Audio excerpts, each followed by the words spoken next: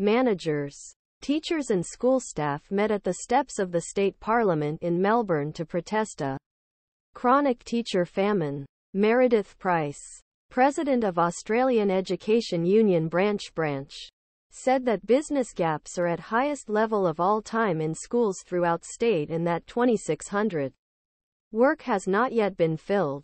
Our children are disappointed. Price said Price. Teachers, managers and education support personnel protest the steps of the Parliamentary Assembly teacher. Simon Cole said that the staff undertakes more responsibility as class dimensions continue to grow. Teachers in schools are getting tiring and sustainable workloads to try to fill the gap, said. The Australian Educational Association wrote an open letter to the Premier Daniel Andrews and called for retention payments to keep financial support for personnel and teaching education. The staff in our schools are disappointed and we are here to say that this is not good enough, said. We believe that we have solutions.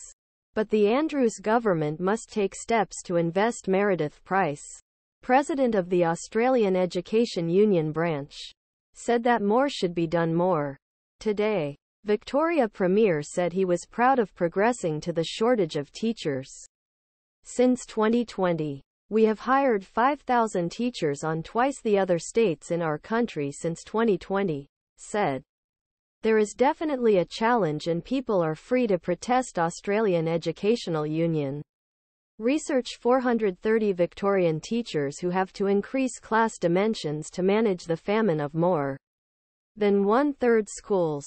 Approximately 40% said they used manager and assistant manager to help fill gaps in classroom. Victoria had to be an educational state,